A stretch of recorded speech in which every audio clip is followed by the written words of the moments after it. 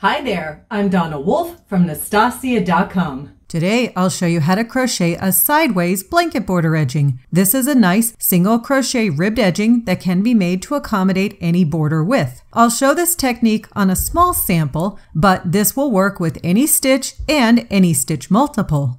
You'll begin by placing a single crochet border around the entire sample. And then you'll make three single crochet stitches in each of the corners. If you notice, I started my single crochet border along a side first. Now it's time to decide how large you want your border to be. I'm starting with the chain six, which will make my border sort of medium size. I'm skipping the first chain and then making one single crochet in each chain across. We'll work in the back loops along this chain and along each single crochet stitch once we get going as well. This will help create the nice ribbed effect to the border edging. Now we need to connect these five single crochet stitches to the actual blanket part. How we accomplish this is we make a slip stitch into the next stitch upwards. As you can see, we started with the chain on the first stitch, made some single crochet stitches, then slip stitched to the next stitch. Normally we'd chain one and turn our work, but with this, instead we're going to slip stitch to the very next stitch. We'll turn our work. Here's where you just have to watch a bit carefully. Skip the first slip stitch and skip the second slip stitch. Then make one single crochet in each of the five single crochet stitches from the row below. If you end up with only five single crochet stitches on this row, you know you did your counting correctly. And I should mention, if you don't like five single crochet stitches, just rip out these rows and start over again. Figure out how many single crochet stitches you do like, then just add one more to come up with the chain number. Once you've completed the five stitches, chain one and turn your work. All outside parts of our border will have the chain one. So we've skipped that initial chain one and now we're making five single crochet stitches back towards the blanket again using the back loops. And as before, we have to connect this border back to the blanket section. So we make a slip stitch to do that. And to begin our next row, we make another slip stitch in the stitch above to help elevate the yarn for beginning this row of five single crochet stitches. For this row, we turn our work. It's important that we skip the first and second slip stitches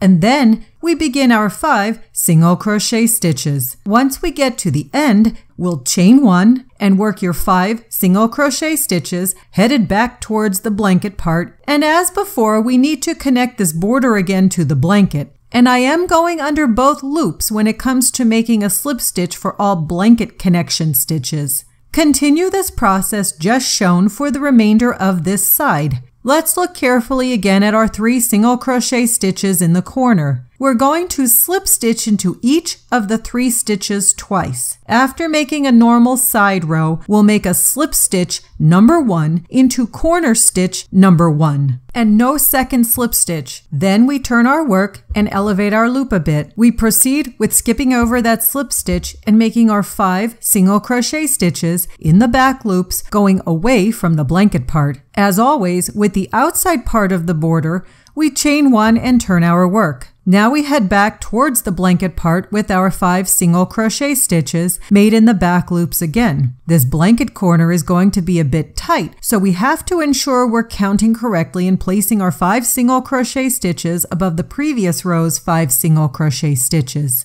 We make our second slip stitch in stitch number one of the corner. We proceed again with the corner process, which means just turn our work and we make our five single crochet stitches away from the blanket area and at the outside end of the border we chain one and turn our work. Now we head back down towards the blanket area again. This time we're going to make slip stitch number one in corner stitch number two. Then we turn our work and lift our hook a bit and proceed with our five single crochet stitches away from the blanket area. Once completed, we chain one, turn our work, then work our way back down towards the blanket area. Once we get to that corner again, we're going to make our second slip stitch in the second stitch of the corner. As you might expect, this process helps increase our corner so it flares out and rounds out nicely and doesn't buckle or curl in on itself. And we still have one more corner border process to go.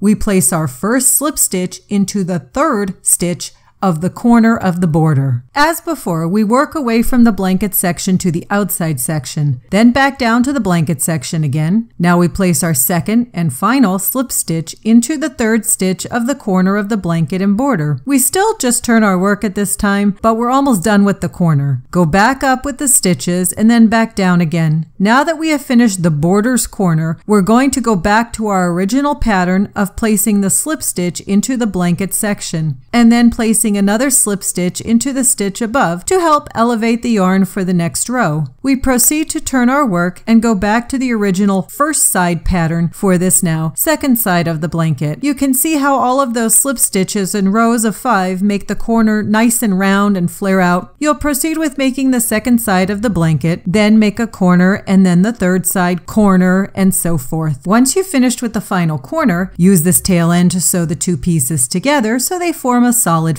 finish. And that's it. That's how I crochet a sideways blanket border and edging using single crochet stitches.